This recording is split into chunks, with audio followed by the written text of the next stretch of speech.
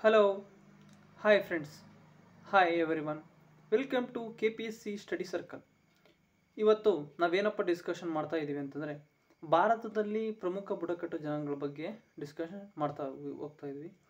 ಇಂದಿನ ತರಗತಿಗಳಲ್ಲಿ Ramsar convection Ramsar ಪಟ್ಟಿಗಳ ಬಗ್ಗೆ ಅಧ್ಯಯನ ಮಾಡ್ತಾ ಇದ್ವಿ. ಇತ್ತೀಚಿನ ಸ್ಪರ್ಧಾತ್ಮಕ ಪರೀಕ್ಷೆಗಳಲ್ಲಿ ಭಾರತದ ಬುಡಕಟ್ಟು ಜನಾಂಗಗಳಿಗೆ ಸಂಬಂಧಿಸಿದಂತೆ ಬಹಳ ಕ್ವಶನ್ಸ್ ಬರ್ತಾ ಇದ್ದಾವೆ ಹಾಗಾಗಿ ಇವತ್ತು ಭಾರತದಲ್ಲಿ ಕಂಡುಬರ್ತಕ್ಕಂಥ ಪ್ರಮುಖ ಬುಡಕಟ್ಟು ಜನಾಂಗಗಳ ಬಗ್ಗೆ ನೋಡ್ತಾ ಹೋಗೋಣ.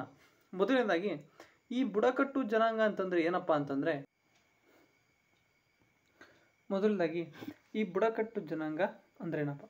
ಇವರು ಸಾಮಾನ್ಯ ಸಂಸ್ಕೃತಿ ಮತ್ತು ಉಪಭಾಷೆಯೊಂದಿಗೆ ಸಾಮಾಜಿಕ, ಆರ್ಥಿಕ, ಧಾರ್ಮಿಕ ಅಥವಾ ರಕ್ತ ಸಂಬಂಧಗಳಿಂದ ಸಂಪರ್ಕ ಹೊಂದಿದ ಕುಟುಂಬಗಳು ಅಥವಾ ಸಮುದಾಯಗಳನ್ನು ಒಳಗೊಂಡಿರ್ತಕ್ಕಂಥ ಸಾಂಪ್ರದಾಯಿಕ ಮತ್ತು ಸಮಾಜ ಸಮಾಜದಲ್ಲಿನ ಪ್ರಮುಖ ವಿಭಾಗ ಅಥವಾ ಒಂದೇ ರೀತಿಯ ಮೌಲ್ಯಗಳು ಅಥವಾ ಆಸಕ್ತಿಗಳನ್ನು ಹೊಂದಿರುವ ಸಮುದಾಯ ಅಥವಾ ಸಾಮಾನ್ಯ ಪೂರ್ವಜರನ್ನು ಹೊಂದಿರತಕ್ಕಂಥ ಗುಂಪುಗಳನ್ನು ಈ ಬುಡಕಟ್ಟು ಜನಾಂಗ ಅಂತ ಕಣ್ ಕರಿತೀವಿ.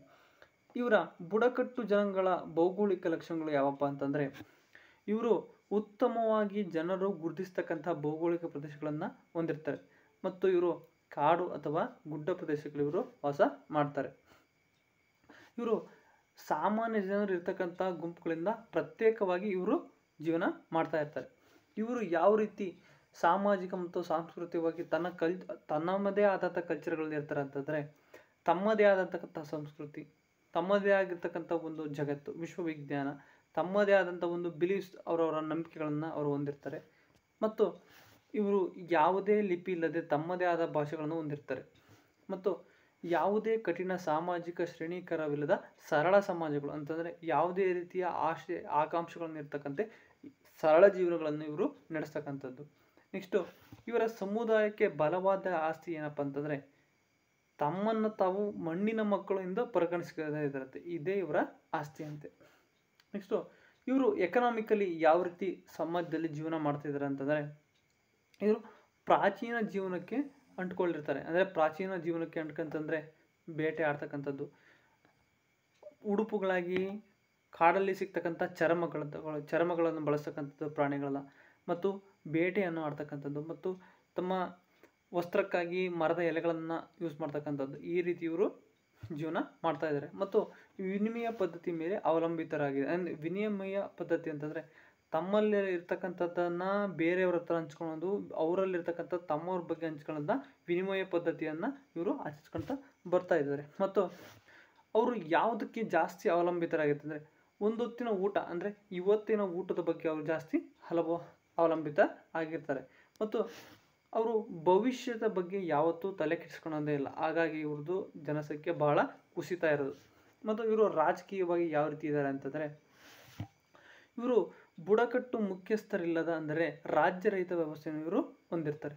ಮತ್ತು ಕುಟುಂಬ ಮತ್ತು ಬಂಧುತ್ವ ಸಂಬಂಧಗಳ ಮೂಲಕ ಕಾನೂನು ಮತ್ತು ಸುವ್ಯವಸ್ಥೆಯನ್ನು ಇವರು ನಿರ್ವಹಿಸ್ತಾ ಇರ್ತಾರೆ. ನೆಕ್ಸ್ಟು, ರಾಜ್ಯ ವ್ಯವಸ್ಥೆ ಬಂದಿದ್ದು ಬುಡಕಟ್ಟು ಮುಖ್ಯಸ್ಥರನ್ನು ಆಯ್ಕೆ ಮಾಡಬಹುದು ನೋಡು, ಆವಾಗ ರಾಜ್ಯ ವ್ಯವಸ್ಥೆ ಬಂದಿರ್ತಂತೆ ಮತ್ತು ಇವರು ತಮ್ಮದೇ ಆಗ್ತಕ್ಕಂಥ ಜನಾಂಗದಲ್ಲಿ ಯಾರಾದರೂ ಒಬ್ಬ ಅನುಭವ ವ್ಯಕ್ತಿಗಳನ್ನ ಬುಡಕಟ್ಟು ಮುಖ್ಯಸ್ಥರನ್ನಾಗಿ ಆಯ್ಕೆ ಮಾಡ್ತಕ್ಕಂಥದ್ದು.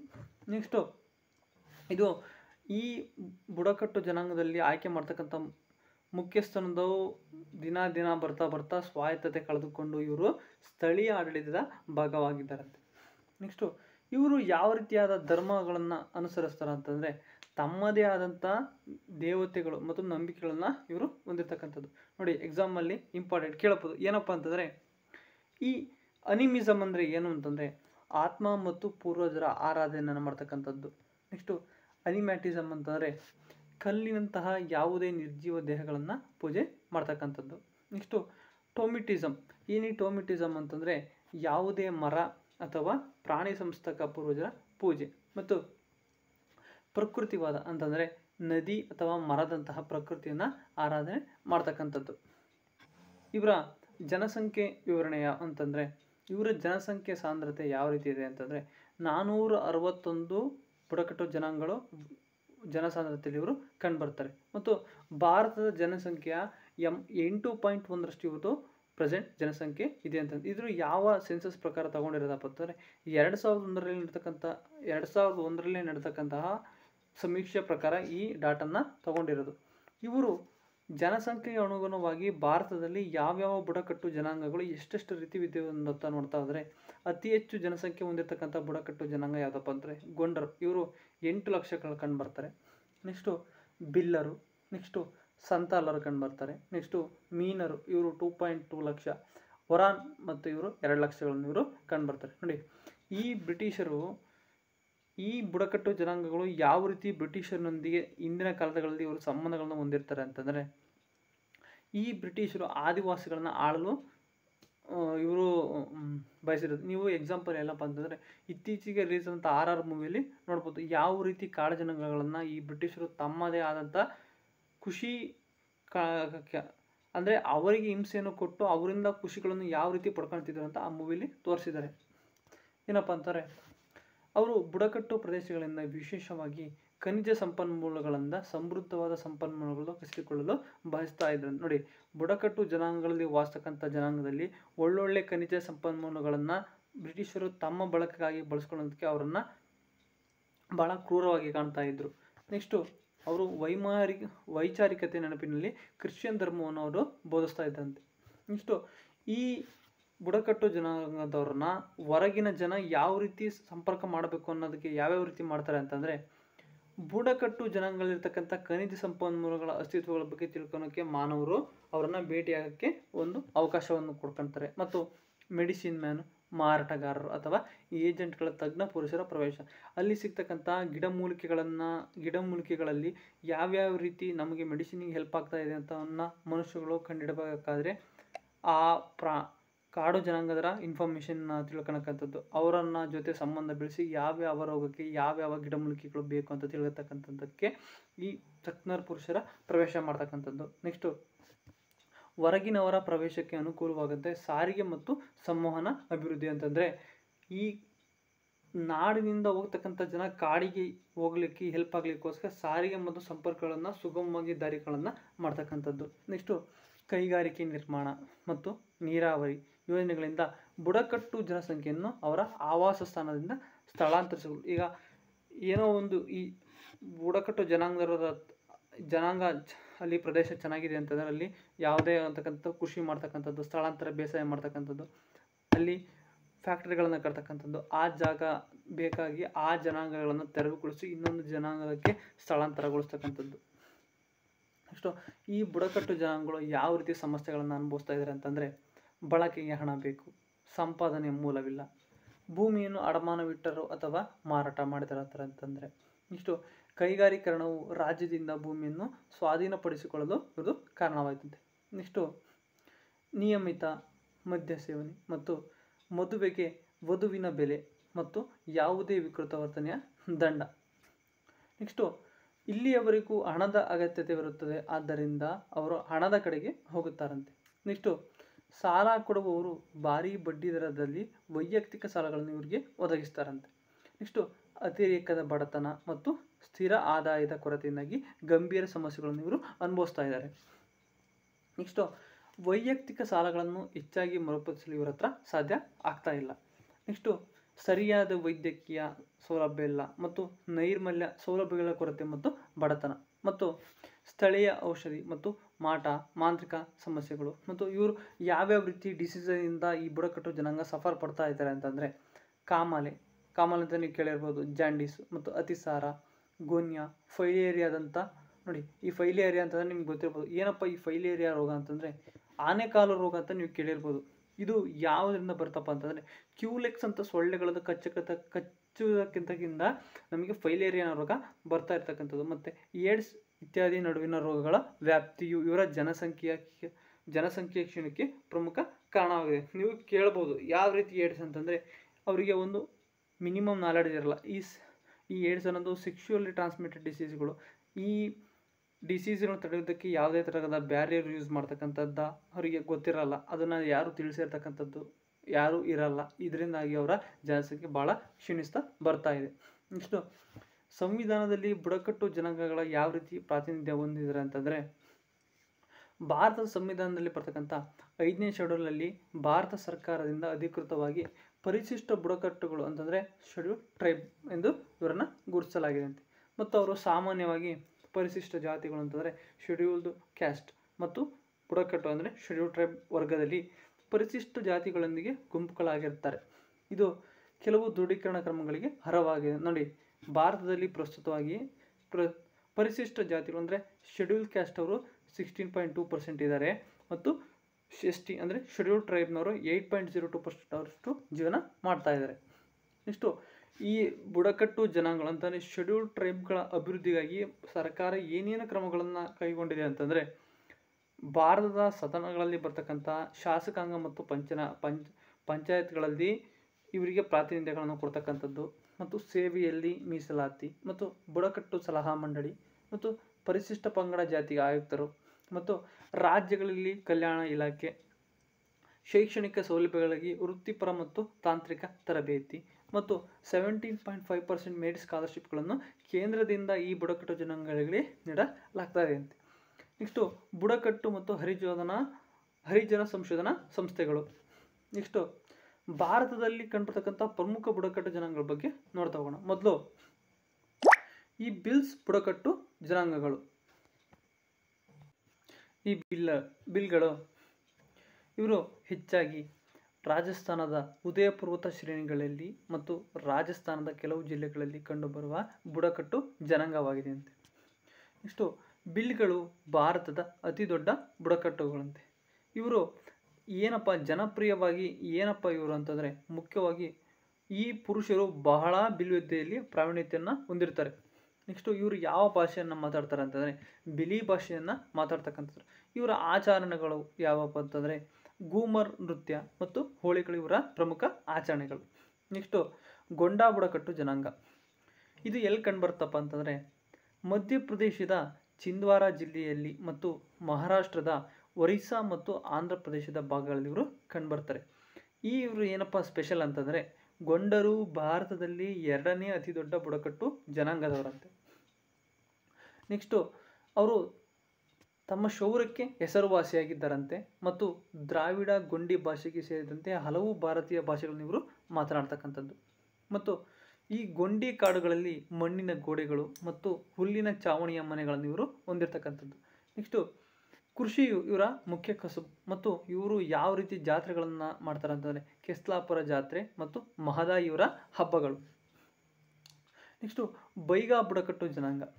ಇವರು ಎಲ್ಲಿ ಕಂಡುಬರ್ತಾರಪ್ಪ ಅಂತಂದರೆ ಬೈಗ ಅಂತ ಅಂತಂದರೆ ಮಾಂತ್ರಿಕರು ಎಂದರ್ಥ ಇವರು ನಿರ್ದಿಷ್ಟವಾಗಿ ದುರ್ಬಲ ಬುಡಕಟ್ಟು ಗುಂಪುಗಳಲ್ಲಿ ಒಂದಾಗಿದೆ. ಏನು ಈ ನಿರ್ದಿಷ್ಟವಾದ ದುರ್ಬಲ ಬುಡಕಟ್ಟು ಗುಂಪುಗಳು ಅಂತಂದರೆ ಪರ್ಟಿಕ್ಯುಲರ್ ವರ್ನರಬಲ್ ಟ್ರೈಬಲ್ ಗ್ರೂಪ್ಸ್ ಅಂತ. ನೆಕ್ಸ್ಟು ಇವರು ಮುಖ್ಯವಾಗಿ ಎಲ್ಲಿ ಕಂಡುಬರ್ತಾರೆ ಅಂತಂದರೆ ಛತ್ತೀಸ್ಗಢದಲ್ಲಿ ಕಂಡುಬರ್ತಾರೆ, ಜಾರ್ಖಂಡ್ನಲ್ಲಿ ಕಂಡುಬರ್ತಾರೆ, ಬಿಹಾರ, ಒಡಿಶಾ, ಪಶ್ಚಿಮ ಬಂಗಾಳ, ಮಧ್ಯಪ್ರದೇಶ ಮತ್ತು ಉತ್ತರ ಪ್ರದೇಶದಲ್ಲಿ ಇವರು ವಾಸಿಸ್ತಾರೆ.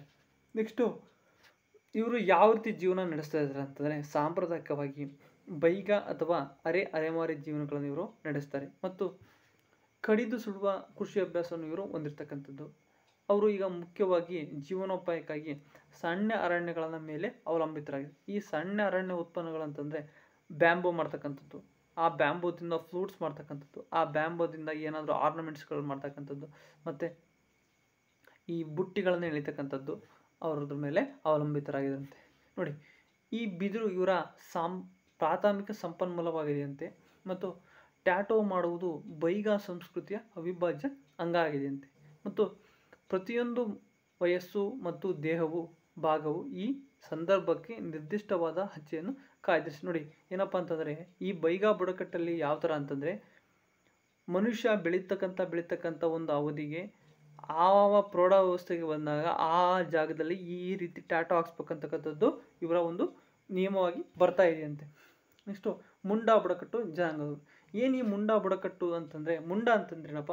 ಗ್ರಾಮದ ಮುಖ್ಯಸ್ಥರನ್ನು ಮುಂಡ ಅಂತ ಕರೀತಾರೆ. ನೆಕ್ಸ್ಟು ಈ ಮುಂಡಾ ಬುಡಕಟ್ಟು ಜನಾಂಗ ಎಲ್ಲೆಲ್ಲಿ ಕಂಡುಬರ್ತಪ್ಪ ಅಂತಂದರೆ, ಜಾರ್ಖಂಡಲ್ಲಿ ಕಂಡುಬರುತ್ತೆ, ಛತ್ತೀಸ್ಗಢದಲ್ಲಿ ಕಂಡುಬರುತ್ತೆ, ಬಿಹಾರದಲ್ಲಿ ಕಂಡುಬರುತ್ತೆ, ಒಡಿಶಾದಲ್ಲಿ ಕಂಡುಬರುತ್ತೆ, ಮತ್ತು ಪಶ್ಚಿಮ ಬಂಗಾಳದಲ್ಲಿ ಕಂಡುಬರುತ್ತೆ.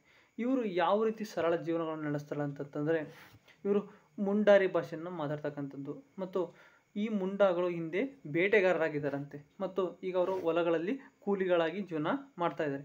ಮತ್ತು ಅವರ ಭಾಷೆ ಕಿಲ್ಲಿ ಮತ್ತು ನುಪೋರ ನೃತ್ಯವು ಮುಖ್ಯವಾಗಿ ಇವರ ಮನರಂಜನೆಯಾಗಿದೆ. ಇಷ್ಟು. ಈ ಮುಂಡಾ ಬುಡಕಟ್ಟು ಜನಾಂಗದವರು ಮಾಗೆ, ಕರಂ, ಸರ್ಹೌಲ್ ಮತ್ತು ಫಾಗು ಹಬ್ಬಗಳನ್ನು ಇವರು ಆಚರಿಸ್ತಾರೆ. ನೆಕ್ಸ್ಟು ಸಂತಾಲ್ ಬುಡಕಟ್ಟುಗಳು. ಏನಪ್ಪ ಈ ಸಂತಾಲ್ ಬುಡಕಟ್ಟು ನೋಡಿ ಯಾವ ಥರ ಇದ್ದಾರೆ ಅಂತಂದರೆ ಈ ಸಂತಾಲ್ ಬುಡಕಟ್ಟುಗಳು ಎಲ್ಲಿ ಕಂಡುಬರ್ತಾರಪ್ಪ ಅಂತಂದರೆ ಪಶ್ಚಿಮ ಬಂಗಾಳದಲ್ಲಿ ಇವರು ಕಂಡುಬರ್ತಾರೆ. ಮತ್ತು ಇವರು ಪಶ್ಚಿಮ ಬಂಗಾಳದ ಪ್ರಮುಖ ಬುಡಕಟ್ಟು ಜನಾಂಗ ಆಗಿದ್ದಾರೆ ಅಂತ ಎಕ್ಸಾಂಪಲ್ ಕೇಳ್ಬೋದು. ಪಶ್ಚಿಮ ಬಂಗಾಳದ ಅಲ್ಲಿ ಇರ್ತಕ್ಕಂಥ ಈ ಕೆಳಗಿನ ಯಾವ ಬುಡಕಟ್ಟು ಜನಾಂಗ ಪಶ್ಚಿಮ ಬಂಗಾಳದ ಪ್ರಮುಖ ಬುಡಕಟ್ಟು ಜನಾಂಗವಾಗಿದೆ ಅಂತ ಕೇಳ್ಬೋದು.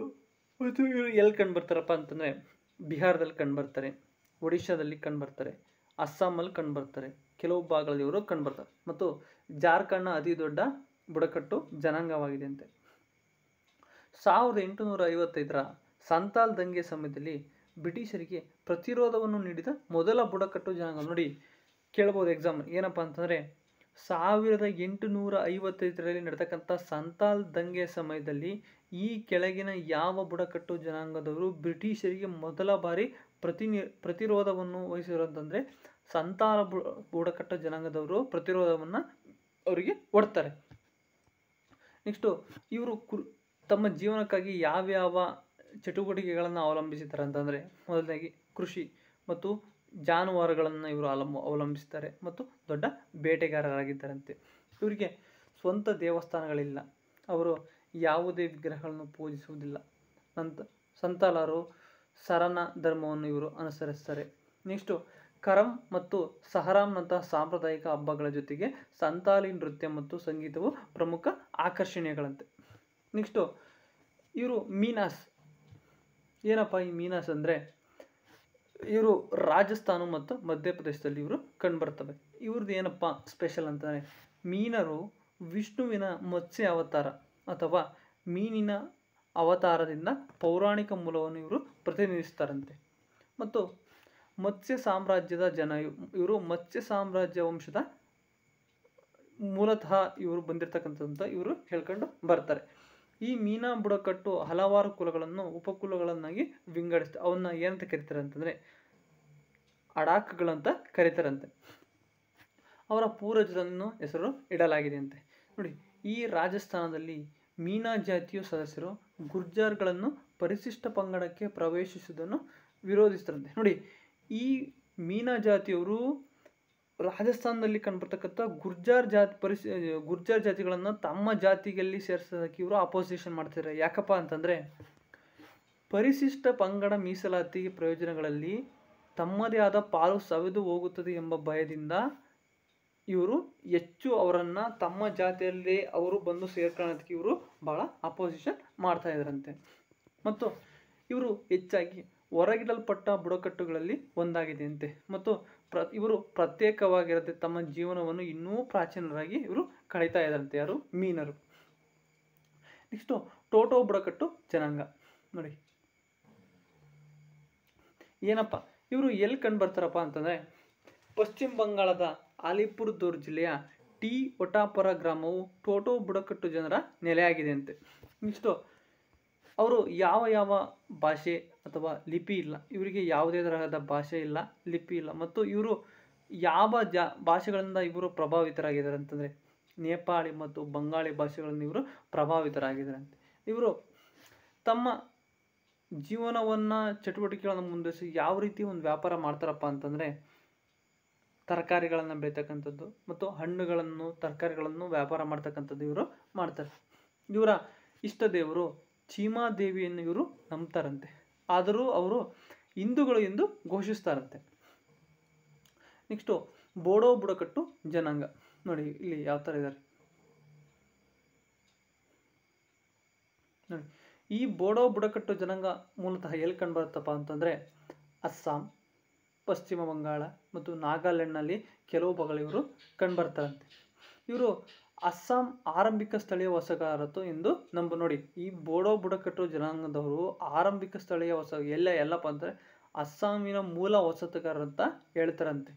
ಮತ್ತು ಇವರು ಇಂಡೋ ಮಂಗೋಲಾಯ್ಡ್ ಕುಟುಂಬಕ್ಕೆ ಸೇರಿದವರು ಅವರು.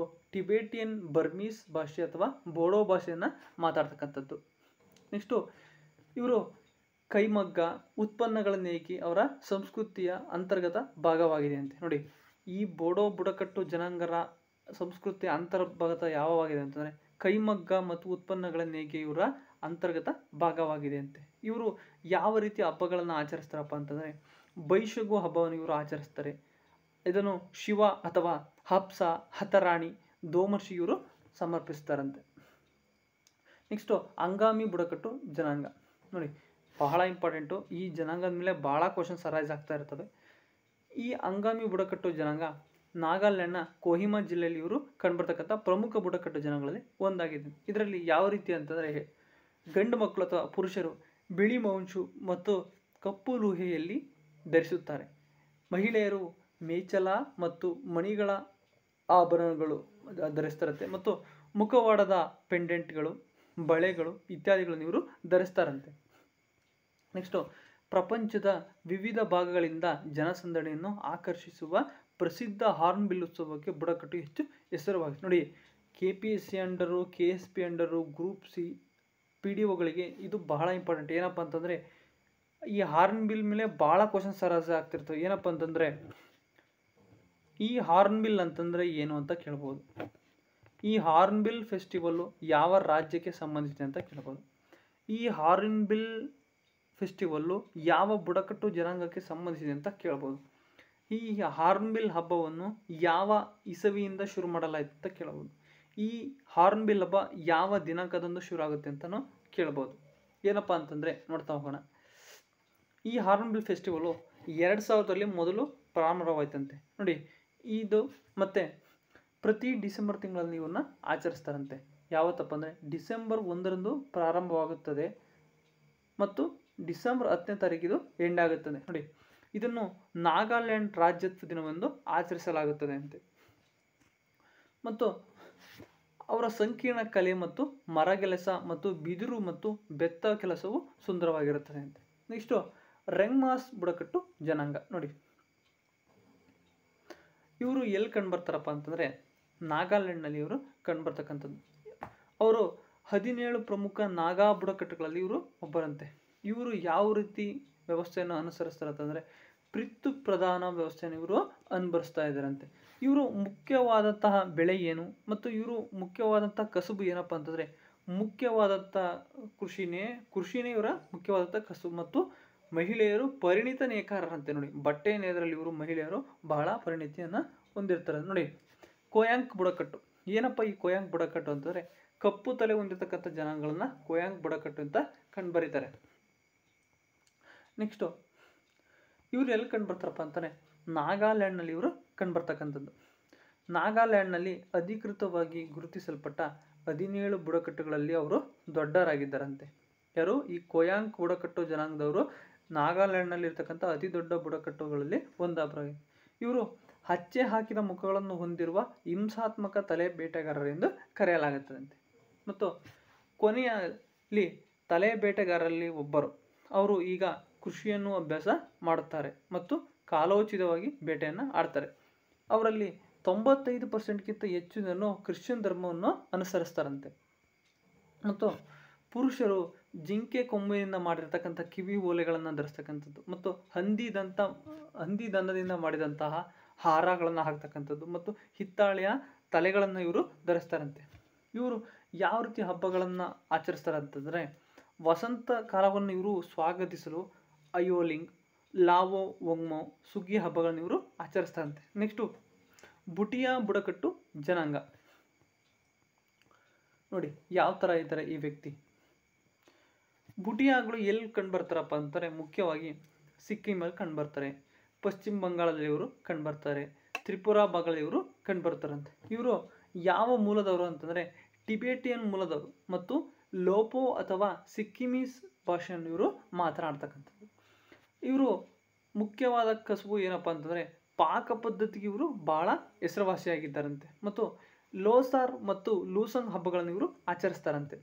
ನೆಕ್ಸ್ಟು ಬ್ರೂ ಅಥವಾ ರಿಯಾಂಗ್ ಬುಡಕಟ್ಟು ಜನಾಂಗ. ಇದು ಎಲ್ಲಿ ಕಂಡುಬರುತ್ತಪ್ಪ ಅಂತಂದರೆ, ಈ ರಿಯಾಂಗ್ ಬುಡಕಟ್ಟು ಜನಾಂಗ ಈಶಾನ್ಯ ಭಾರತದ ಸ್ಥಳೀಯ ಸಮುದಾಯವಾಗಿದೆ ಅಂತೆ.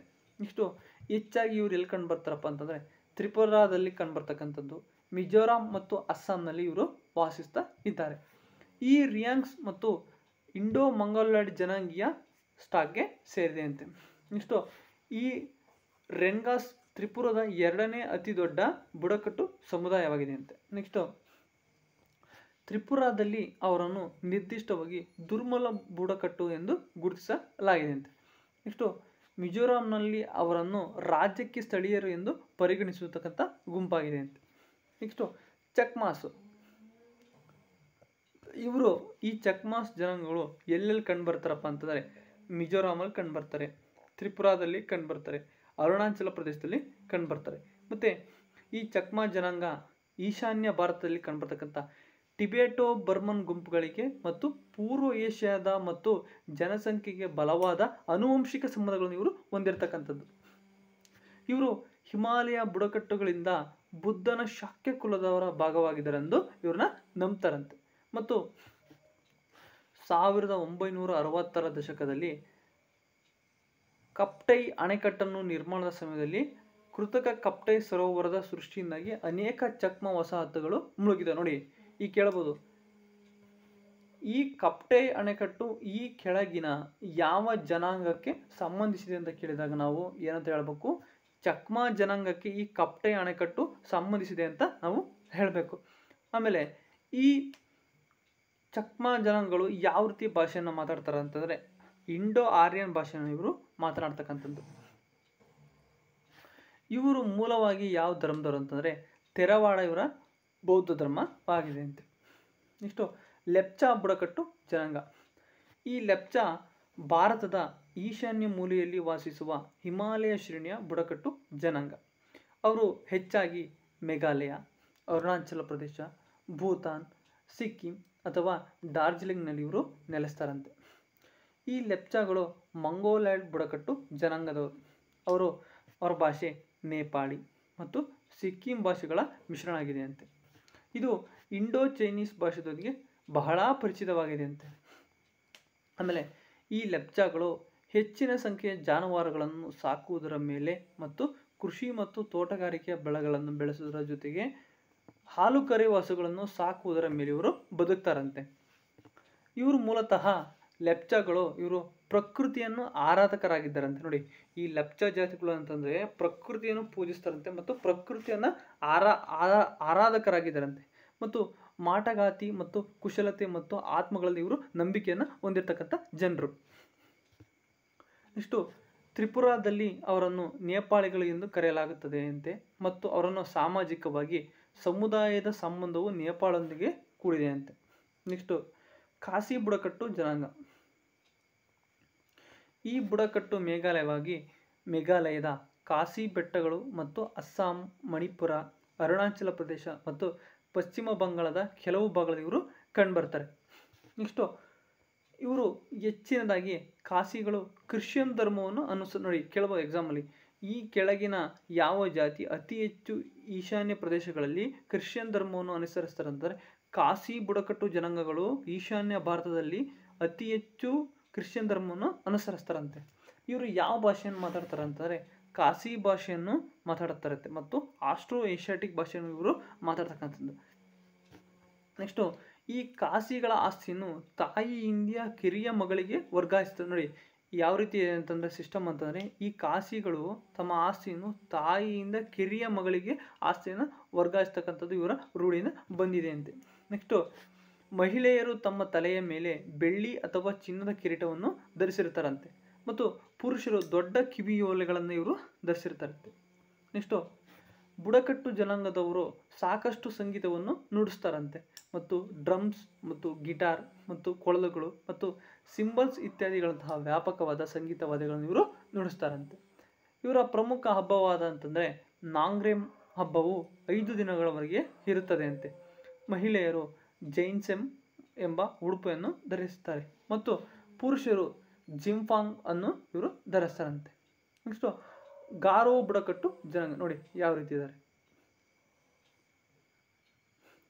ಈ ಗಾರೋ ಬುಡಕಟ್ಟುಗಳು ಮುಖ್ಯವಾಗಿ ಮೇಘಾಲಯದ ಬೆಟ್ಟಗಳು ಮತ್ತು ಅಸ್ಸಾಂ, ನಾಗಾಲ್ಯಾಂಡ್ ಮತ್ತು ಪಶ್ಚಿಮ ಬಂಗಾಳದ ಕೆಲವು ಭಾಗಗಳಲ್ಲಿ ಇವರು ಕಂಡುಬರ್ತಾರಂತೆ.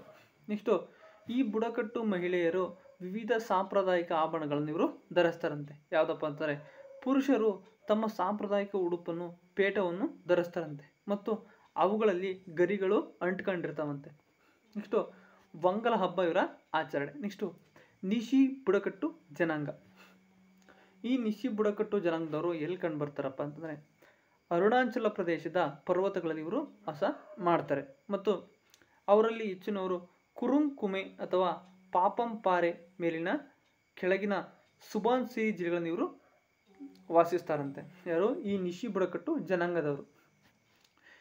ಇವರು ಯಾವ ಭಾಷೆಯನ್ನು ಮಾತಾಡ್ತಾರಪ್ಪ ಅಂತಂದರೆ ನಿಶಿ ಅಂತಕ್ಕಂಥ ಭಾಷೆಗಳನ್ನು ಇವರು ಮಾತನಾಡ್ತಕ್ಕಂಥದ್ದು. ಇವರು ಯಾವ ಧರ್ಮಕ್ಕೆ ಅತಿ ಹೆಚ್ಚು ಮತಾಂತರ ಕೊಡ್ತಿದ್ದಾರೆ ಅಂತಂದರೆ ಈ ನಿಶಿ ಬುಡಕಟ್ಟು ಜನಾಂಗ ಕ್ರಿಶ್ಚಿಯನ್ ಧರ್ಮಕ್ಕೆ ಅತಿ ಹೆಚ್ಚು ಮತಾಂತರವನ್ನು ಗೊಂಡ್ತಾ ಇದ್ದಾರೆ ನೆಕ್ಸ್ಟು ಗಡ್ಡೀಸ್ ಬುಡಕಟ್ಟು. ಇವರು ಎಲ್ಲಿ ಕಂಡುಬರ್ತಾರಪ್ಪ ಅಂತಂದರೆ ಹಿಮಾಚಲ ಪ್ರದೇಶದಲ್ಲಿ ಇವರ ಕಂಡುಬರ್ತಕ್ಕಂಥದ್ದು. ಇವರು ಮುಖ್ಯವಾಗಿ ದೌಲಾಧಾರ ಪರ್ವತ ಶ್ರೇಣಿ ಅಥವಾ ಚಂಬಾ ಭರ್ಮೌರ್ ಮತ್ತು ಧರ್ಮಶಾಲಾ ಸಮೀಪದ ಪ್ರದೇಶಗಳಲ್ಲಿ ಇವರು ವಾಸ ಮಾಡ್ತಕ್ಕಂಥ ಜನಾಂಗ. ಇವರು ಮುಖ್ಯವಾಗಿ ಇವರ ಉದ್ಯೋಗ ಏನು ಅಂತಂದರೆ ಪಶುಪಾಲನೆಯನ್ನು ಇವರು ಮಾಡ್ತಕ್ಕಂಥದ್ದು. ಮತ್ತು ಕುರಿ, ಮೇಕೆ, ಹೆಸರಗತ್ತೆ ಮತ್ತು ಕುದುರೆಗಳನ್ನು ಸಾಕುವುದರ ಮೂಲಕ ಮತ್ತು ಮಾರಾಟ ಮಾಡುವ ಮೂಲಕ ತಮ್ಮ ಜೀವನೋಪಾಯಗಳನ್ನು ಇವರು ಮಾಡ್ತಾ ಇದ್ದಾರಂತೆ. ಅವರಲ್ಲಿ ಹೆಚ್ಚಿನವರು ಹಿಂದೂಗಳು ಮತ್ತು ಕೆಲವರು ಮುಸ್ಲಿಮರಂತೆ. ಇವರು ಗಡ್ಡಿ ಭಾಷೆಯನ್ನು ಇವರು ಮಾತನಾಡ್ತಕ್ಕಂಥದ್ದು. ಆದರೆ ಬರೆಯಲು ಅವರು ಟಕ್ರಿ ಮತ್ತು ಹಿಂದಿಯನ್ನು ಬಳಸ್ತಾರಂತೆ. ನೆಕ್ಸ್ಟು ಇವರು ಯಾವ ರೀತಿಯ ಹಬ್ಬಗಳನ್ನು ಶಿವರಾತ್ರಿ ಮತ್ತು ಜಾತ್ರೆಗಳನ್ನು ಇವರು ಮಾಡ್ತಕ್ಕಂಥದ್ದು. ನೆಕ್ಸ್ಟು ಗುಜ್ಜರರು. ಇವರು ಎಲ್ಲಿ ಕಂಡುಬರ್ತಾರಪ್ಪ ಅಂತಾನೆ ಹಿಮಾಚಲ ಪ್ರದೇಶದಲ್ಲಿ ಕಂಡುಬರ್ತಕ್ಕಂಥದ್ದು, ಉತ್ತರ ಪ್ರದೇಶದಲ್ಲಿ ಕಂಡುಬರ್ತಕ್ಕಂಥದ್ದು ಮತ್ತು ಕಾಶ್ಮೀರದಲ್ಲಿ ಕಂಡುಬರ್ತಕ್ಕಂಥದ್ದು. ಈ ಗುರ್ಜರ್ಗಳು ನಿಸ್ಸಂದೇಹವಾಗಿ ಕಾಶ್ಮೀರದಿಂದ ಗುಜರಾತ್ ಮತ್ತು ಮಹಾರಾಷ್ಟ್ರಕ್ಕೆ ಹರಡಿದ ಗಮನಾರ್ಹ ನೋಡಿ, ಈ ಗುರ್ಜರ್ಗಳು ನಿಸ್ಸಂದೇಹವಾಗಿ ಕಾಶ್ಮೀರದಿಂದ ಗುಜರಾತ್ ಮತ್ತು ಮಹಾರಾಷ್ಟ್ರಕ್ಕೆ ಹರಡ್ತಕ್ಕಂಥ ಗಮನಾರ್ಹ ಜಾತಿಗಳಂತೇವೆ. ನೆಕ್ಸ್ಟು, ಪಶುಪಾಲಕ ಮತ್ತು ಬುಡಕಟ್ಟು ಗುಂಪುಗಳಾಗಿ ಉಳಿದುಕೊಂಡಿದ್ದಾರಂತೆ. ಅದರಲ್ಲಿ ಹಿಂದೂ ಮತ್ತು ಮುಸ್ಲಿಮರು ಎರಡು ವಿಧಗಳಂತೆ. ನೆಕ್ಸ್ಟು, ಅವರು ಮುಖ್ಯವಾಗಿ ಪಶುಪಾಲನೆ ಮತ್ತು ಹೈನುಗಾರಿಕೆಯನ್ನು ಇವರು ಅಭ್ಯಾಸ ಮಾಡ್ತಾರಂತೆ. ನೆಕ್ಸ್ಟು ವರ್ಲಿ ಬುಡಕಟ್ಟು ಜನಾಂಗ.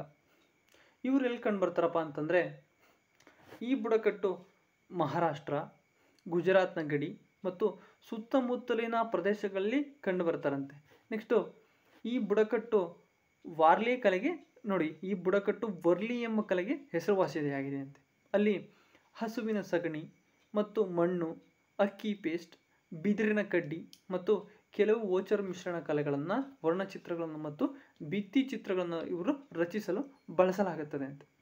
ನೆಕ್ಸ್ಟು ಅವರು ಸುಗ್ಗಿಯ ಕಾಲದಲ್ಲಿ ತರ್ಪ ನೃತ್ಯವನ್ನು ಮತ್ತು ಪ್ರತಿ ವರ್ಷ ಮಾರ್ಚ್ನಲ್ಲಿ ವಾರ್ಲಿ ಜನಪದ ಕಲೆ ನೃತ್ಯ, ಜನರ ಉತ್ಸವ ಇವರು ನಡೆಸ್ತಕ್ಕಂಥದ್ದು. ನೆಕ್ಸ್ಟು ಯಾವ ಜನಾಂಗಪ್ಪ ಅಂದರೆ ಕೋಣ್ಸ್ ಅಥವಾ ಡೋಂಗಾರಿ ಕೊಂಡ ಅಂತ. ಇವರು ಮೂಲತಃ ಎಲ್ಲಿ ಕಂಡು ಬರ್ತಾರಪ್ಪ ಅಂದರೆ ಒರಿಸ್ಸಾದಲ್ಲಿ ಕಂಡುಬರ್ತಕ್ಕಂಥ ಜನಾಂಗ. ಇವರ ಸ್ಥಳೀಯ ಭಾಷೆ ಕುಯ್. ಇವರು ಒರಿಯಾ ಲಿಪಿಯೊಂದಿಗೆ ಬರೆಯುವ ದ್ರಾವಿಡ ಭಾಷೆ. ಅವರು ಪ್ರಕೃತಿಯನ್ನು ಆರಾಧಿಸತಕ್ಕಂತಹ ವನವಾಸಿಗಳು ಇವರು. ಯಾರು? ಈ ಕೋನ್ಸ್ ಮತ್ತು ಡೋಂಗಾರಿ ಕೊಂಡಿರ್ತಕ್ಕಂಥ ಜನಾಂಗ.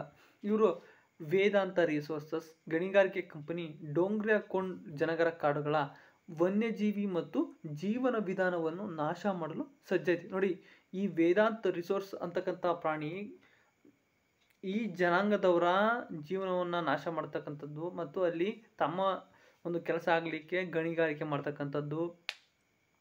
ಮತ್ತು ಇವರು ಜನರ ಕಾಡುಗಳು, ವನ್ಯಜೀವಿಗಳು ಮತ್ತು ಜೀವನ ವಿಧಾನವನ್ನು ನಾಶ ಮಾಡೋದು ಇವರು ಸಜ್ಜಾದರಂತೆ ಮತ್ತು ನಾಲ್ಕು ವರ್ಷಗಳ ಸುದೀರ್ಘ ಪ್ರತಿಭಟನೆಗಳು ಅಂತಿಮವಾಗಿ ಫಲ ನೀಡಿದ್ದು. ಸರ್ಕಾರವು ಈಗ ಇವರಿಗೆ ನಿಯಮಗಿರಿ ಪರ್ವತದಲ್ಲಿ ಮತ್ತು ಅವರ ಕಾಡುಗಳಲ್ಲಿ ಗಣಿಗಾರಿಕೆ ಮಾಡದಂತೆ ವೇದಾಂತವನ್ನು ಇವರಿಗೆ ನಿಷೇಧಿಸಿದೆ ಅಂತೆ ನೆಕ್ಸ್ಟು ಪೋಡು ಎಂದು ಕರೆಯಲಾಗುವ ಸ್ಥಳಾಂತರ ಕೃಷಿಯನ್ನು ಅಭ್ಯಾಸ ಮಾಡ್ತಾ ಇದ್ದಾರೆ. ನೋಡಿ, ಈ ಪೋಡು ಅಂತಕ್ಕಂಥದ್ದು ಒಂದು ಸ್ಥಳಾಂತರ. ಇದು ಇಲ್ಲೂ ಕೂಡ ಮತ್ತು ಆಂಧ್ರ ಪ್ರದೇಶದಲ್ಲೂ ಕೂಡ ಕಂಡುಬರುತ್ತೆ. ನೆಕ್ಸ್ಟು ಚೆಂಚು ಬುಡಕಟ್ಟು ಜನಾಂಗ. ನೋಡಿ.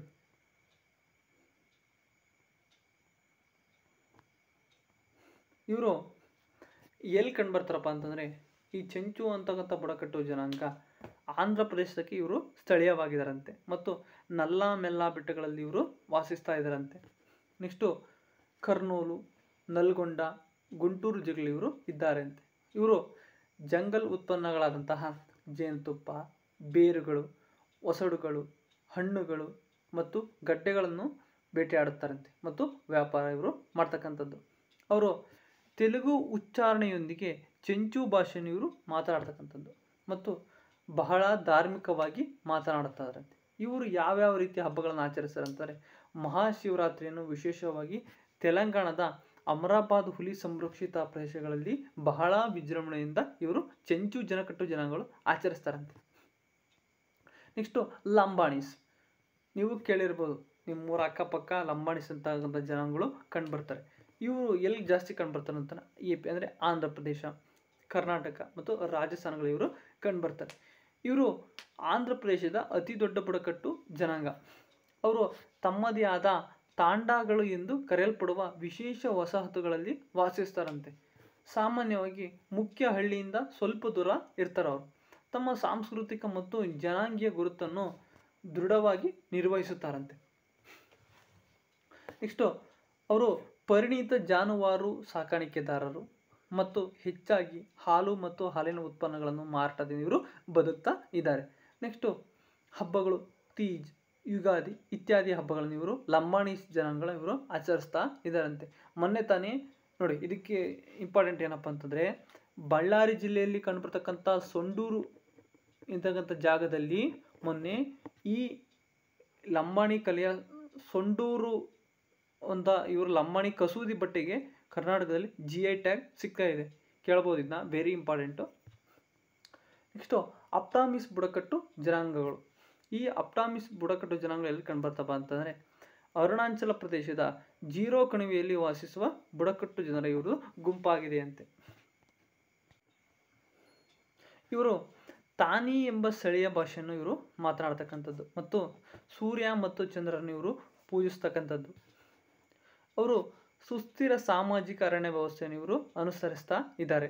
ಮತ್ತು ಅಪ್ಟಾಮಿಗಳು ತಮ್ಮ ಪ್ಲಾಟ್ಗಳಲ್ಲಿ ಭತ್ತದ ಕೃಷಿಯೊಂದಿಗೆ ಜಲಚರಗಳನ್ನು ಅಭ್ಯಾಸ ಮಾಡುತ್ತಾರಂತೆ.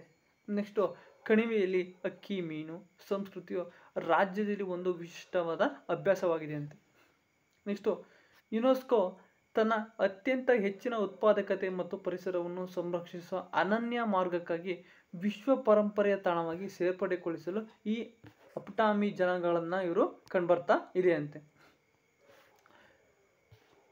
ನೆಕ್ಸ್ಟು ಕಾದರ್ ಇವರು ಎಲ್ಲಿ ಕಂಡುಬರ್ತಾರಪ್ಪ ಅಂತಂದರೆ ಕೇರಳ ಮತ್ತು ತಮಿಳುನಾಡಲ್ಲಿ ಕಂಡುಬರ್ತಕ್ಕಂಥ ಜನಾಂಗ.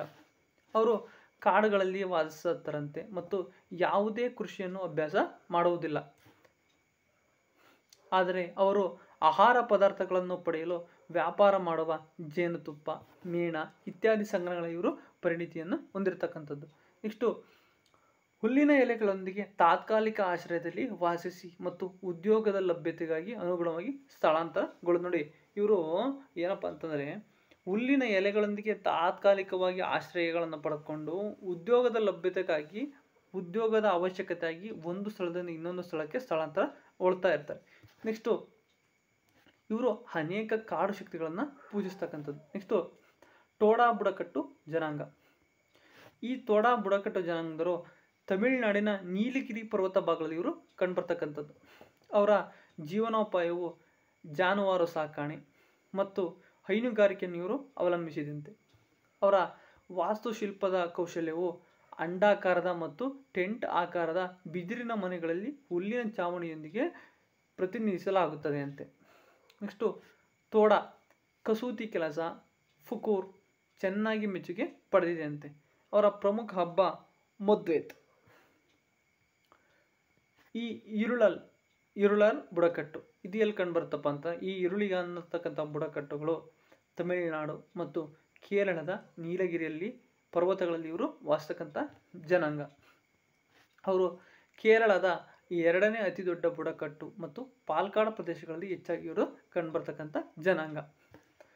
ಅವರು ಮುಖ್ಯವಾಗಿ ರೈತರು ಮತ್ತು ಭತ್ತ, ದಾಲ್, ರಾಗಿ, ಮೆಣಸಿನಕಾಯಿ, ಅರಿಶಿಣ ಮತ್ತು ಬಾಳೆ ಉತ್ಪಾದನೆಯ ಮೇಲೆ ಅವಲಂಬಿತ ಆಗಿರ್ತಾರೆ. ನೆಕ್ಸ್ಟು ಇವರು ಧಾರ್ಮಿಕವಾಗಿ ವಿಧಿಗಳು ಏನಪ್ಪ ಅಂತ, ತಮ್ಮದೇ ಆದ ದೇವರುಗಳನ್ನು ಇವರು ನಂಬ್ತಾರಂತೆ. ಮತ್ತು ಮಾಟ ಮಂತ್ರದಲ್ಲಿ ತಮ್ಮ ಕೌಶಲ್ಯಗಳಿಗೆ ಇವರು ಹೆಸರುವಾಸಿ ಆಗಿದ್ದಂತೆ ಯಾರು? ಈ ಈರುಳ್ಳಿಗ ಅಂತಕ್ಕಂಥ ಜನಾಂಗ. ನೆಕ್ಸ್ಟು ಚೋಳ ನಾಯಕನ್. ಏನಪ್ಪ ಈ ಚೋಳ ನಾಯಕ ಅಂತಂದರೆ ಇವರು ಎಲ್ಲಿ ಕಂಡುಬರ್ತಾರೆ ಅಂತಾರೆ? ದಕ್ಷಿಣ ಬ, ಕೇರಳದ ದಕ್ಷಿಣ ಭಾಗದಲ್ಲಿ ಇವರು ಕಂಡುಬರ್ತಕ್ಕಂಥದ್ದು. ಮತ್ತು ವಿಶೇಷವಾಗಿ ಸೈಲೆಂಟ್ ವ್ಯಾಲಿ ರಾಷ್ಟ್ರೀಯ ಉದ್ಯಾನವನದಲ್ಲಿ ಇವರು ಕಂಡುಬರ್ತಕ್ಕಂಥದ್ದು. ಅವರು ಆಂತರಿಕ ಕಾಡುಗಳಲ್ಲಿ ವಾಸಿಸುವ ಕಾರಣ ಅವರನ್ನು ಚೋಳ ನಾಯಕನ್ ಎಂದೇ ಕರೆಯಲಾಗುತ್ತದೆ ಅಂತ. ನೆಕ್ಸ್ಟು ಚೋಳ ಅಥವಾ ಶೋಲ್ಸ್ ಎಂದರೆ ಆಳವಾಗಿ ನಿತ್ಯ ಹರಿದ್ವರ್ಣ ಕಾಡು ಮತ್ತು ನಾಯಕನ್ ಎಂದರೆ ರಾಜ ಅಂತಕ್ಕಂಥದ್ದು ಕರೀತಾರೆ. ಅವರು ಮೈಸೂರು ಅರಣ್ಯದಿಂದ ವಲಸೆ ಬಂದವರು ಎಂದು ಹೇಳಲಾಗ್ತಿದೆ ಅಂತೆ. ನೆಕ್ಸ್ಟು, ಈ ಚೋಳ ನಾಯಕರು ದ್ರಾವಿಡ ಕುಟುಂಬಕ್ಕೆ ಸೇರಿದ ಚೋಳ ನಾಯಕನ್ ಭಾಷೆಯನ್ನು ಇವರು ಮಾತನಾಡ್ತಕ್ಕಂಥದ್ದು. ಅವರು ಕಲ್ಲುಲ್ಲೈ ಎಂಬ ಕಲ್ಲಿನ ಆಶ್ರಯದಲ್ಲಿ ಅಥವಾ ಎಲೆಗಳಿಂದ ಮಾಡಿದ ತೆರೆದ ಶಿಬಿರಗಳಲ್ಲಿ ಇವರು ಯಾರು? ಚೋಳ ನಾಯಕನ್ ಎಂಬ ಜನಾಂಗ ಇವರು ವಾಸಿಸ್ತಾರಂತೆ. ನೆಕ್ಸ್ಟು ಅವರು ಆಹಾರ ಸಂಗ್ರಹಣೆ ಮಾಡ್ತಕ್ಕಂಥದ್ದು, ಬೇಟೆ ಮತ್ತು ಸಣ್ಣ ಅರಣ್ಯ ಉತ್ಪನ್ನಗಳನ್ನು ಸಂಗ್ರಹಣೆಯಲ್ಲಿ ಉಪಜೀವನ ಇವರು ನಡೆಸ್ತಕ್ಕಂಥದ್ದು. ನೆಕ್ಸ್ಟು ಕನಿಕರನ್ ಬುಡಕಟ್ಟು ಜನಾಂಗ. ಈ ಕನಿಕರನ್ ಬುಡಕಟ್ಟು ಜನಾಂಗ ಎಲ್ಲಿ ಕಂಡುಬರ್ತಾರೆ ಅಂತಾನೆ ಕೇರಳದಲ್ಲಿ ಕಂಡುಬರ್ತಕ್ಕಂಥದ್ದು. ತಮಿಳುನಾಡು ರಾಜ್ಯಗಳಲ್ಲಿ ದಕ್ಷಿಣ ಭಾಗದಲ್ಲಿ ಕಂಡುಬರ್ತಕ್ಕಂಥ ಇವರು ಬುಡಕಟ್ಟು ಸಮುದಾಯವಾಗಿದೆ ಅಂತೆ. ನೆಕ್ಸ್ಟು ಎಲ್ಲವನ್ನೂ ಬೇಸಾಯ ಮಾಡಿ, ವ್ಯವಸಾಯವನ್ನೇ ಮುಖ್ಯ ಕಸುಬನ್ನಾಗಿ ಮಾಡಿಕೊಂಡರು ಮೀನು ಹಿಡಿಯುವುದು, ಬೇಟೆಯಾಡೋದು ಅವರಿಗೆ ವಿಶೇಷ ಒಂದು ಹಾಬಿ ಅಂದರೆ ಒಲವು. ನೆಕ್ಸ್ಟು ಕಾಣಿಕ ನೃತ್ಯವು ಗ್ರಾಮೀಣ ಕೊಡುಗೆಯಾಗಿ ಪ್ರದರ್ಶಿಸಲಾದ ಸಮೂಹ ನೃತ್ಯ ಒಂದು ಉರುಪಾಗಿದೆ ಅಂತೆ. ನೆಕ್ಸ್ಟು ಕಣಿಕರ್ ಅರೆಮಾಲಿಗಳ, ಅಲೆಮಾರಿಗಳಾಗಿದ್ದು ಬಿದಿರು ಮತ್ತು ಜೊಂಡುಗಳ ತಾತ್ಕಾಲಿಕ ಗುಡಿಸುಗಳಲ್ಲಿ ಇವರು ವಾಸಿಸ್ತಾ ಇದರಂತೆ. ಇವು ಸಾಮಾನ್ಯವಾಗಿ ಬೆಟ್ಟಗಳ ಮೇಲೆ ನೆಲೆಗೊಂಡಿರ್ತಕ್ಕಂಥದ್ದು. ನೆಕ್ಸ್ಟು ಕುರುಂಬ ಬುಡಕಟ್ಟು. ನೋಡಿ, ಇದು ಕೇರಳ ಮತ್ತು ತಮಿಳುನಾಡಿನ ಭಾಗಗಳಲ್ಲಿ ಕಂಡುಬರ್ತಕ್ಕಂಥ ಪ್ರಮುಖ ಬುಡಕಟ್ಟು. ಅವರು ಪಶ್ಚಿಮ ಘಟ್ಟಗಳ ಆರಂಭಿಕ ವಸಾಹತುಗಾರರಲ್ಲಿ ಒಬ್ಬರು. ನೆಕ್ಸ್ಟು ಅವರು ಕೃಷಿ ಮತ್ತು ಜೇನುತುಪ್ಪ ಮತ್ತು ಮೇಣದ ಸಂಗ್ರಹವನ್ನು ಅವಲಂಬಿಸಿ ಸರಳವಾದ ಜೀವನ ಶೈಲಿಗಳನ್ನು ಇವರು ನಡೆಸ್ತಕ್ಕಂಥದ್ದು. ನೆಕ್ಸ್ಟು ಅವರು ಸಾಂಪ್ರದಾಯಿಕವಾಗಿ ಗಿಡಮೂಲಿಕೆ ಔಷಧಗಳನ್ನು ರೂಪಿಸುವಲ್ಲಿ ನಿಪುಣರು. ನೆಕ್ಸ್ಟು ಅವರು ವಾಮಾಚಾರ ಮತ್ತು ಮಾಂತ್ರಿಕ ಕೌಶಲ್ಯಕ್ಕಾಗಿ ಈ ಪ್ರದೇಶಗಳಲ್ಲಿ ಪ್ರಸಿದ್ಧರಾಗಿದ್ದಾರಂತೆ. ಇಷ್ಟು ಗ್ರೇಟ್ ಅಡಮಾನಿಸ್ ಬುಡಕಟ್ಟು. ನೋಡಿ, ಯಾವ ರೀತಿ ಇದ್ದಾರೆ ಅಂತ. ಹ್ಮ್.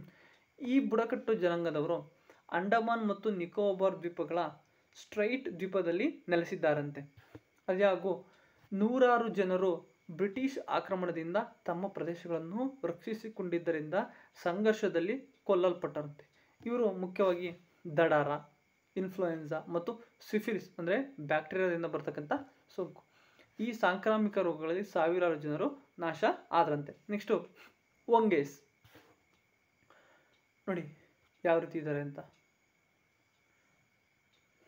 ಈ ವಂಗೇಸ್ಗಳು ಅರೆ ಅಲೆಮಾರಿಗಳಾಗಿದ್ದು, ಬೇಟೆಯಾಡುವುದು ಮತ್ತು ಆಹಾರಕ್ಕಾಗಿ ಸಂಗ್ರಹಿಸುವುದನ್ನು ಸಂಪೂರ್ಣವಾಗಿ ಇವರು ಅವಲಂಬಿಸ್ತಾರಂತೆ.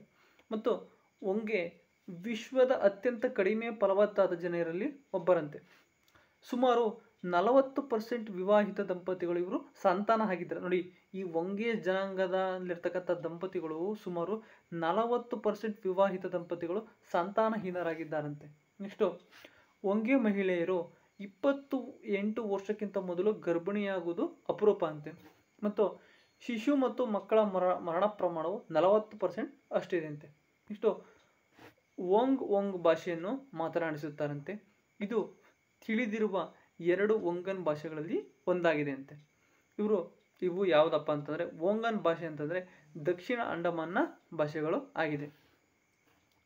ನೆಕ್ಸ್ಟು ಒಂಗೆ ಜನಸಂಖ್ಯೆ ಕುಸಿತಕ್ಕೆ ಪ್ರಮುಖ ಕಾರಣ ಅಂತ ನಾವು ಏನಾರು ನೋಡ್ತಾ ಹೋದರೆ, ಹೊರಗಿನ ಪ್ರಪಂಚದೊಂದಿಗೆ ಅವರ ಸಂಪರ್ಕದಿಂದ ಅವರ ಆಹಾರ ಪದ್ಧತಿಯಲ್ಲಿ ಬಂದಂಥ ಬದಲಾವಣೆ. ನೋಡಿ, ಏನಪ್ಪ ಅಂತಂದರೆ, ಈ ಇವರು ಮುಖ್ಯವಾಗಿರ್ತಕ್ಕಂಥ ಇವರ ಜನಸಂಖ್ಯೆ ಕುಸಿತಕ್ಕೆ ಕಾರಣ ಅಂತಂದರೆ ಹೊರಗಿನ ಪ್ರಪಂಚದೊಂದಿಗೆ ಅವರ ಸಂಪರ್ಕದಿಂದ ಅವರ ಆಹಾರ ಪದ್ಧತಿಯಲ್ಲಿ ಬೆಳವಣಿಗೆ ಬದಲಾವಣೆ ಆಗ್ತಕ್ಕಂಥದ್ರಿಂದ ಇವರ ಸಾವಿಗೆ ಬಹಳ ಕಾರಣ ಆಗಿದೆ ಅಂತ. ನೆಕ್ಸ್ಟು ಶಾಂಪೆನ್ಸ್ ನೋಡಿರ್ಬೋದು ನಿಮಗೆ. ನೋಡಿ ಇಲ್ಲಿ ಈ ಶಾಂಪೆನ್ಸ್ ಬೇಟೆಗಾರರ ಸಂಗ್ರಹಿಸುವ ಜೀವನಾಧಾರ ಯಾವ ರೀತಿ ಅಂತಂದರೆ ಜನರು, ಹಂದಿಗಳು, ಪಕ್ಷಿಗಳು ಮತ್ತು ಸಣ್ಣ ಪ್ರಾಣಿಗಳಂತಹ ಕಾಡು ಆಟವನ್ನು ಇವರು ಬೇಟೆ ಆಡ್ತಾರೆ. ಮತ್ತು ಹಣ್ಣುಗಳು ಮತ್ತು ಅರಣ್ಯ ಆಹಾರಕ್ಕಾಗಿ ಇವರು ಮೇವು ಹುಡುಕ್ತಾರಂತೆ. ಇವರು ತಗ್ಗು ಪ್ರದೇಶದ ಶಾಂಪೆನ್ ತಮ್ಮ ಗುಡಿಸಲುಗಳನ್ನು ಸ್ವಿಲ್ಟ್ ಮೇಲೆ ನಿರ್ಮಿಸ್ತಾರಂತೆ ಮತ್ತು ಗೋಡೆಗಳನ್ನು, ಮರದ ಚೌಕಟ್ಟಿನ ಮೇಲೆ ನೇಯ್ದು ವಸ್ತುಗಳನ್ನು ಮತ್ತು ಹುಲ್ಲಿನ ತಾಳೆ ಗರಿಗಳ ಮೇಲ್ಛಾವಣಿಯ ಮೇಲೆ ಇವರು ನಿರ್ಮಿಸಲಾಗಿದೆ ಅಂತೆ. ಮತ್ತು ರಚನೆಗಳನ್ನು ಸ್ವಿಲ್ಟ್ ಮೇಲೆ ಇವರು ನಿರ್ಮಿಸಲಾಗಿದೆ ಅಂತೆ. ನೆಕ್ಸ್ಟು, ಶಾಂಪೇನ್ ಬೇಟೆಗಾರರ ಸಂಗ್ರಹಿಸುವ ಜೀವನಾಧಾರ ಜನರು ಯಾವುದಪ್ಪ ಅಂತಂದರೆ ಹಂದಿಗಳು, ಪಕ್ಷಿಗಳು ಮತ್ತು ಸಣ್ಣ ಪ್ರಾಣಿಗಳಂತಹ ಕಾಡು ಆಟವನ್ನು ಬೇಟೆ ಆಡ್ತಾರಂತೆ. ಮತ್ತು ಹಣ್ಣುಗಳು ಮತ್ತು ಅರಣ್ಯ ಆಹಾರಕ್ಕಾಗಿ ಇವರು ಮೇವನ್ನು ಹುಡುಕುತ್ತಾರಂತೆ. ನೆಕ್ಸ್ಟು ಆಸ್ಟ್ರೋ ಆಸಿಯಾಟಿಕ್ ಭಾಷೆ ಸೇರಿದ ಶಾಂಪಿಯನ್ ಭಾಷೆ. ನೋಡಿ, ಈ ಶಾಂಪಿಯನ್ ಬುಡಕಟ್ಟು ಜನಾಂಗರಿಗೆ ಯಾವ ಭಾಷೆಯನ್ನು ಮಾತಾಡ್ತಾರೆ ಅಂತಂದರೆ ಆಸ್ಟ್ರೋ ಆಸಿಯಾಟಿಕ್ ಅಂತ ಭಾಷೆಗಳನ್ನು ಇವರು ಮಾತಾಡ್ತಕ್ಕಂಥದ್ದು. ನೆಕ್ಸ್ಟು ವಂಗೇಸ್ ಈ ವಂಗೆ ಜಾತಿಗಳು ಅರೆ ಅಲೆಮಾರಿಗಳಾಗಿದ್ದು ಬೇಟೆಯಾಡುವುದು ಮತ್ತು ಆಹಾರಕ್ಕಾಗಿ ಸಂಗ್ರಹಿಸುವುದನ್ನು ಸಂಪೂರ್ಣವಾಗಿ ಇವರು ಅವಲಂಬಿಸಿದ್ದಾರಂತೆ. ನೆಕ್ಸ್ಟು ವಂಗೆ ವಿಶ್ವದ ಅತ್ಯಂತ ಕಡಿಮೆ ಫಲವತ್ತಾದ ಜನರಲ್ಲಿ ಒಬ್ಬರಂತೆ. ನೋಡಿ, ಸುಮಾರು ನಲವತ್ತು ಪರ್ಸೆಂಟ್ ವಿವಾಹಿತ ದಂಪತಿಗಳು ಸಂತಾನಹರಾಗಿದ್ದಾರಂತೆ ಥ್ಯಾಂಕ್ ಯು ಫ್ರೆಂಡ್ಸ್. ಫ್ರೆಂಡ್ಸ್ ನಮ್ಮ ಕರ್ನಾಟಕಕ್ಕೆ ಸಂಬಂಧಿಸಿದಂತಹ ಪ್ರಮುಖ ಬುಡಕಟ್ಟು ಜನಾಂಗಗಳನ್ನು ಇನ್ನೊಂದು ಕ್ಲಾಸ್ ಮಾಡ್ತೀನಿ. ಇದು ಹೆವಿ ಆಯಿತು ಅನಿಸುತ್ತೆ. Thank you friends